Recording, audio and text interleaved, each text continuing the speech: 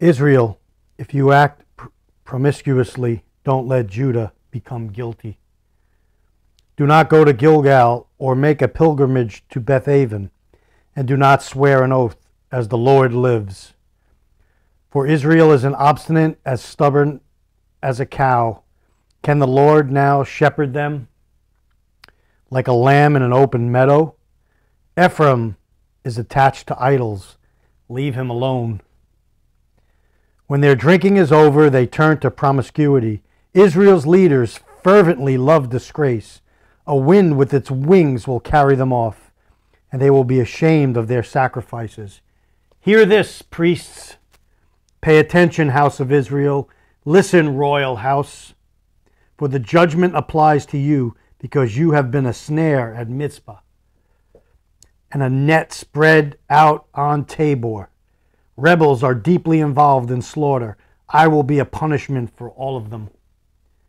I know Ephraim, and Israel is not hidden from me. For now, Ephraim, you have acted promiscu- promiscuously.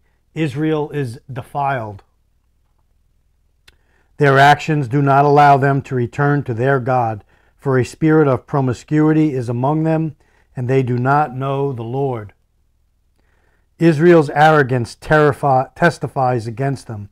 Both Israel and Ephraim stumble because of their wickedness. Even Judah will stumble with them. They will go to, with their flocks and herds to seek the Lord, but not find him. He has withdrawn from them. They betrayed the Lord. Indeed, they gave birth to illegitimate children. Now the new moon will devour them along with their fields.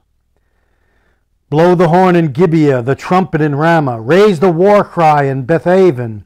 After you, Benjamin. Ephraim will become a desolation on the day of punishment. I announce what is certain among the tribes of Israel. The princes of Judah are like those who move boundary markers. I will pour out my fury on them like water. Ephraim is oppressed, crushed in judgment, for he is determined to follow what is worthless. So I am like rot to Ephraim and like decay to the house of Judah. When Ephraim saw his sickness and Judah his wound, Ephraim went to Assyria and sent a delegation to the great king. But he cannot cure you or heal your wound, for I am like a lion to Ephraim and a young lion to the house of Judah. Yes, I will tear them apart to pieces and depart. I will carry them off, and no one can rescue them.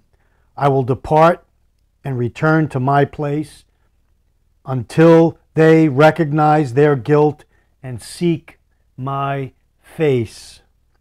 They will search for me in their distress.